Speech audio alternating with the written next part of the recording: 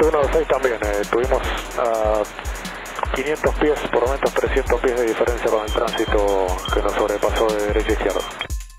Sí, correcto, señor. La verdad, eh, tiene razón, lo tienen que hacer por escrito, hágalo. Sí, eh, es la saturación que tenemos en este, en este sector y en este trabajo en este momento. Para que son inútiles, ese es el problema.